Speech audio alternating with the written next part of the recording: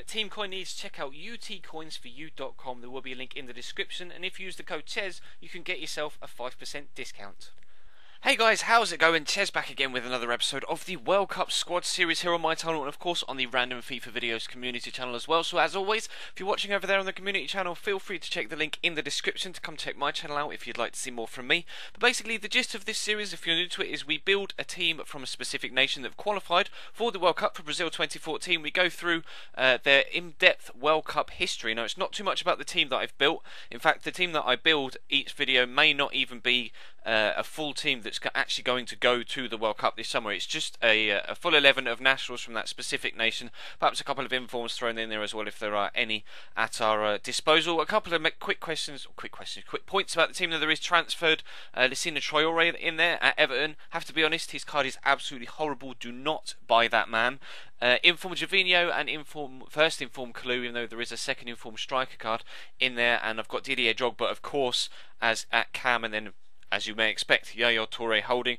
But uh, both Co- both Kolos, both Toures are in there as well. Kolo is in the defence. But let's get cracking with uh, with Ivory Coast's World Cup history, shall we? So uh, as with last week, though, unfortunately, when uh, when we cover Greece, the Ivory Coast don't actually have that long and uh, an illustrious tradition with the World Cup tournament. Between 1930 and 1970, they didn't enter at all, and uh, from 1974 to 2002 they didn't qualify at all. They never got out of the uh, out of the qualification process. So their first appearance at a World Cup finals came in Germany 2006.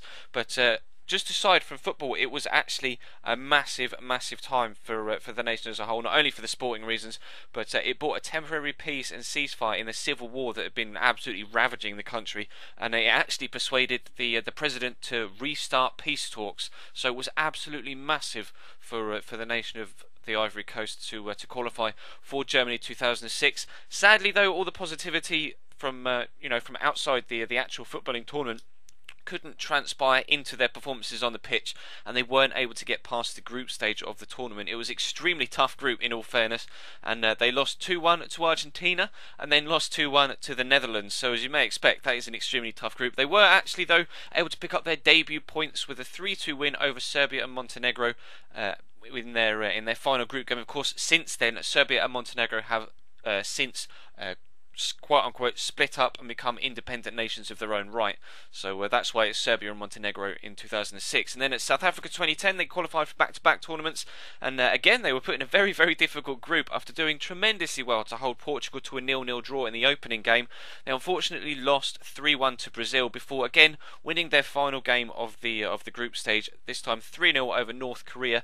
But again, it was not quite enough for them to, uh, to get out of the group stage. So unfortunately, both of their appearances so far in the tournament have resulted in early exits. Although this time around they are in a better group. They, uh, of course, have Greece in the group, the team that we covered last week. The other two teams in Group C are Japan and Colombia. So Ivory Coast are a strong side. They definitely do stand a chance of getting out of the group stage this time. And as a prediction, I'd say they're probably going to come second in the group behind Colombia.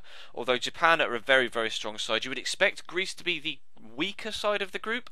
But again, it's such an unpredictable group and unpredictable tournament that you uh, you just can't say either way whether they're definitely going to get through or definitely not going to get through. But uh, that's basically, I think, if they perform well, they will do. That's my personal uh, interpretation of how they're going to do in the in the summer. If you have any different opinions, then feel free to let me know in the comment section down below. A couple of random miscellaneous facts before we finish. Their uh, current FIFA ranking is 17 as I record this at uh, the beginning of February 2014, and their highest ever FIFA World ranking is 12th, which they had early 2013. Uh, the most caps held by uh, an Ivory Coast Coast National is Didier Zokora with 118, and as you might expect, the top goal scorer is in fact Didier Drogba with 62 goals. So that's going to bring this particular episode to a close, guys. Do apologise again; it's a little bit short, just like the Greece one, but uh, like I say, I can't really uh, dictate how well countries have done previously in their World Cup experiences. So that's going to bring this one to a close. If you did enjoy, feel free to leave the video a like. If you could be so kind, that'd be absolutely superb. If you aren't subscribed to the channel already, then feel free to do so. There will be a link in the description. And uh, that's going to bring this one to a close. So thank you very much for watching, guys, and I will see you next time.